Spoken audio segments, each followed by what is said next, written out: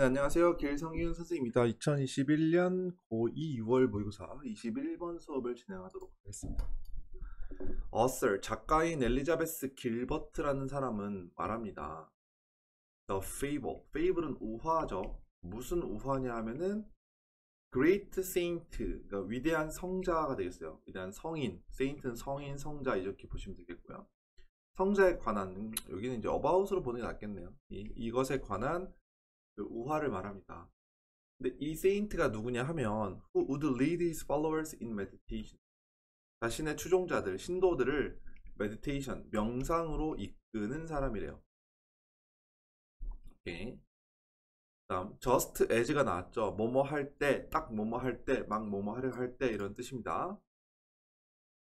Followers were dropping into their Zen moment. 이 Zen moment는 선의 순간, 부, 불교에서 얘기하는 선의 순간이라는 표현이에요. 네, 그래서 그러니까 명상을 하다가 이제 완전한 선의 순간으로 drop into는 빠지는 겁니다. 이렇게 빠질 때 they would be disrupted. 그들은 어, 방해받곤 했어요. 이 고양이한테.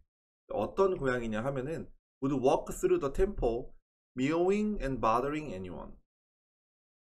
미오잉이라는 것은 야옹거리는 거죠. 그렇죠? 하는 것과 야, 야옹거리면서 그리고 bothering everyone 모든 사람들에게 괴롭히면서가 되는 거죠. 이거는 분사 구문이에요. 미오잉 and bothering 여기서는 as, he, or she 이거는 이제 고양이를 말하는 것이고요. and others 이렇게 가는 거죠. 오케이 알아두시고 그래서 이 사원을 돌아다니면서 돌아다니고 야옹야옹 거리고 사람들을 괴롭히면서 돌아다니는 그러한 고양이에 의해서 어, 방해를 받곤 했다는 거죠. 음.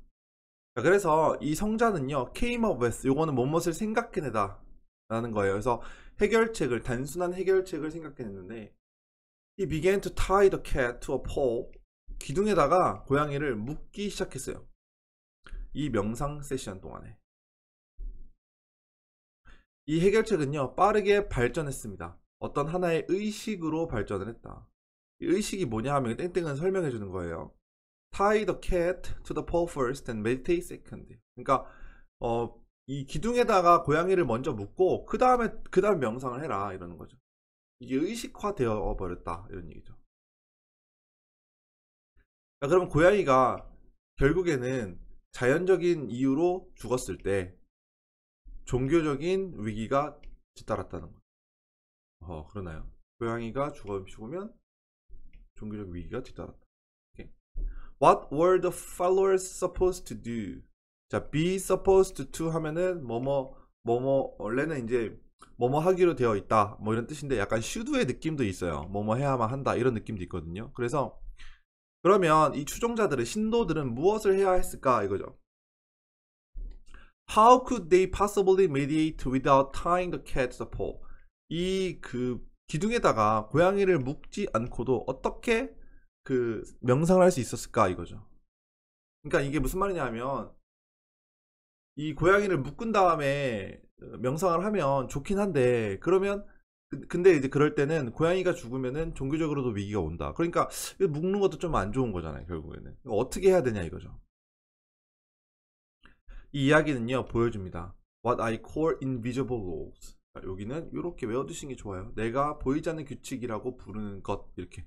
What I call 다음에 what 주어 call 다음에 a가 나오면 a라고 부르는 것 이렇게 하는 거예요. a라고 부르는 것. 이게 어, 불완전한 문장입니다. 대안 안 돼요. 대안 안 되고 불완전한 문장이에요.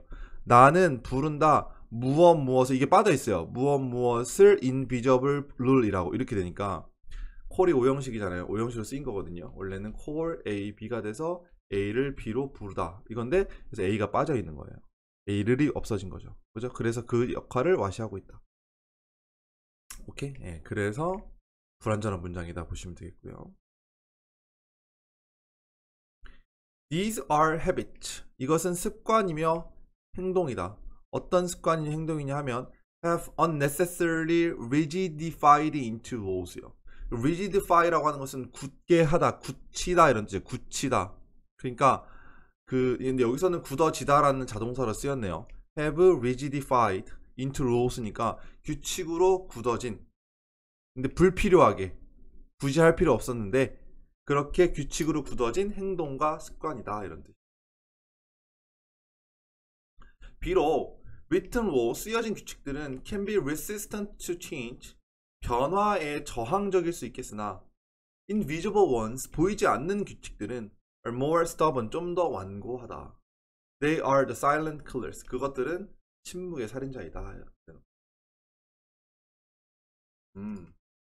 이거 이거는 이제 어떤 느낌이냐면은 결국에는 하고 싶은 말은요 조금 살짝 애매한 문장이긴 해요. 예. 근데 하고 싶은 말은 일단 invisible laws를 말하고 있거든요. 이게 제일 중요한 거예요. invisible laws. 얘네들은 silent killer다. 일단 이렇게 잡아놓아야 될 것 같아요. invisible laws가 silent killer다. 왜냐하면 너무 스터번하기 때문에 바꾸기가 힘들다.